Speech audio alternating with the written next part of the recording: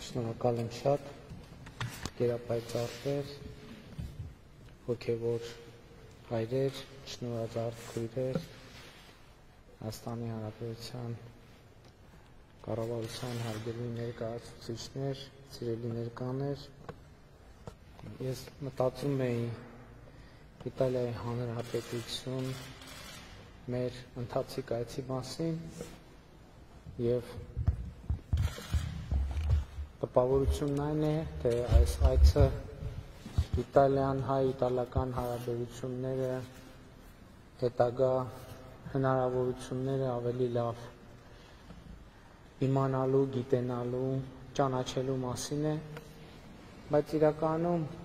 գործնականում գրեթե բոլոր այցերը ունեն շատ կարևոր մի հատված եւ առանձնահատկություն, ինչ այս պահին հիմա առավել եւս ընդգծում է, ընդգծվում է եւ խոսքը այն մասին է, որ տարբեր երկրներ ճամփորդելով, տարբեր հանդիպումներ ունենալով մենք ոչ միայն ճանաչում ենք եւ իմանում ենք այդ երկրների մասին, այլև ճանաչում ենք ինքներս մեզ ավելի լավ, ճանաչում ենք ինքներս ավելի լավ մեր պատմությունը, ճանաչում ենք ավելի լավ ինքներս մեր ինքնությունը եւ այս ճամփորդությունները,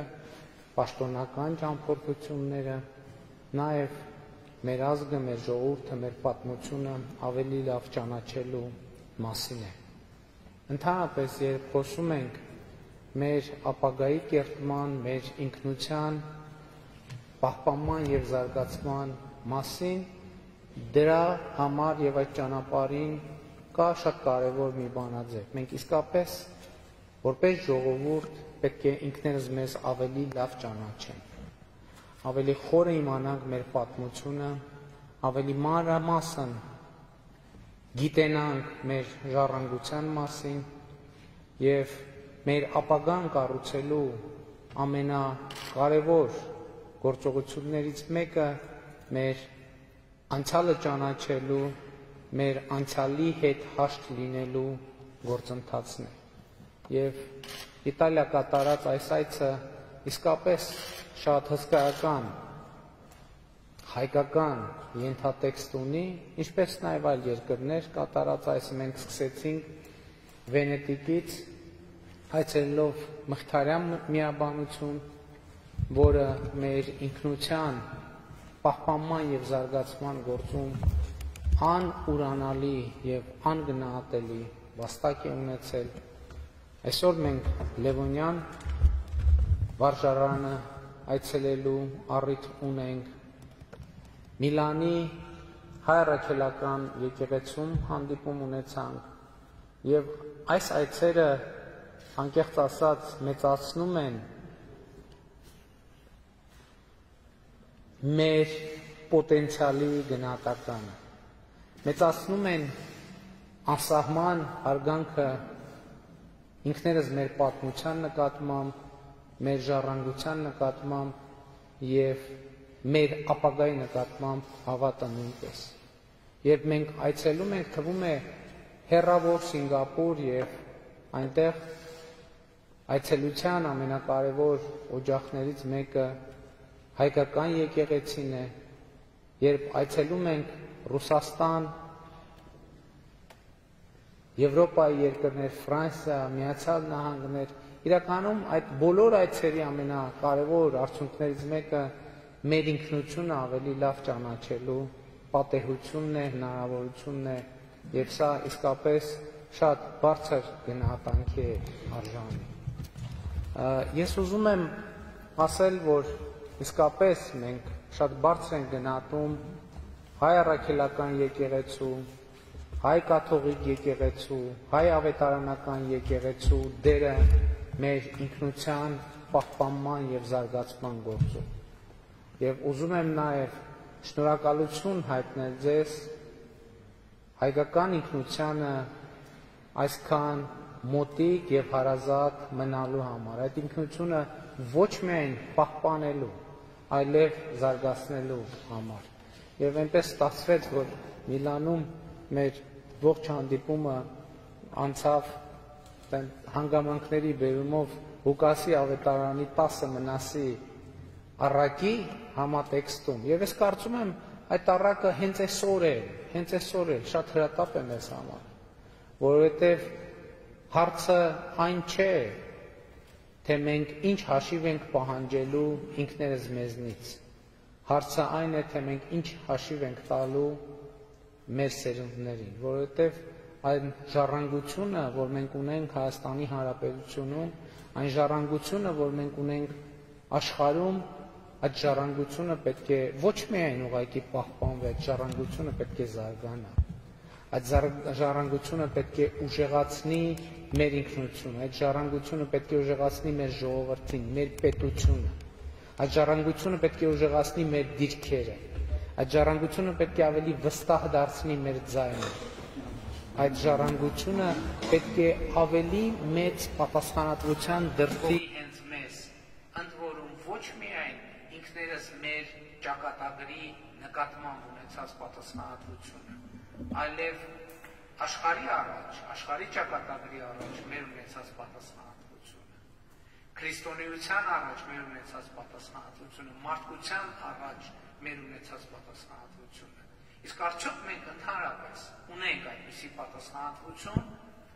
եւ կարող ենք արդյոք մենք ունենալ այդպիսի պատասխանատվություն եւ խոսել այդպիսի պատասխանատվության մասին։ Այս հարցի պատասխանը մենք կարող ենք ստանալ միայն ինքներս մեզ ավելի լավ ճանաչելուց հետո։ Իսկ մենք ինչքան լավ ենք ճանաչում մեզ, հասկանում ենք, որ այսպիսի ժառանգություն ունեցող ժողովուրդը չի կարող ուղակի անցորդ լինել մարդկության պատմության ճանապարհներին։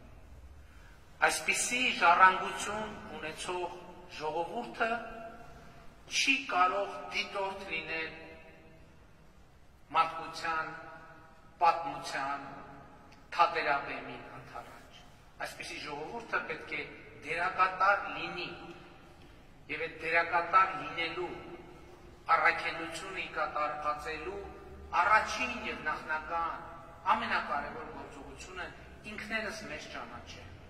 որովհետեւ որովհետեւ հնարավոր չէ հնարավոր չէ որևէ նպատակի հասնել առանց սեփական ուժերը գնահատելու, առանց սեփական անցյալը ճանաչելու,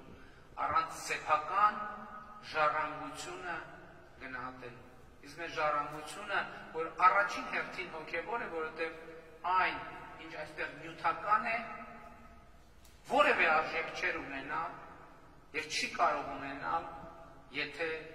այն հենված չլինի հոգևոր, ամուր եւ անսասան հիմքի վրա։ Եվ մեր ժառանգությունը առաջին հերթին հոգևոր է, որովհետև այս ժառանգությունը կապ չունի հայ առաքելական եկեղեցում մասին ենք խոսում, թե հայ կաթողիկ եկեղեցու մասին ենք խոսում, ես տեսա եւ կարծում եմ, որ շատերը չէ, որ սա գիտեն։ Եվ ինձ համար նույնպես պիտի խոստովանեմ անակնկալի որոշակի էլեմենտներ կային, որ հենված է նույն արժեքների վրա։ Երեք երեք ես Սուրբ Ղազար կղզում հաճույքով արձանագրեցի, որ տաճարի հիմնական խորանները նվիրված են Մեսրոպ Մաշտոցին, Սահակ Պարթևին, Գրիգոր Լուսավորիչին, եւ սա այն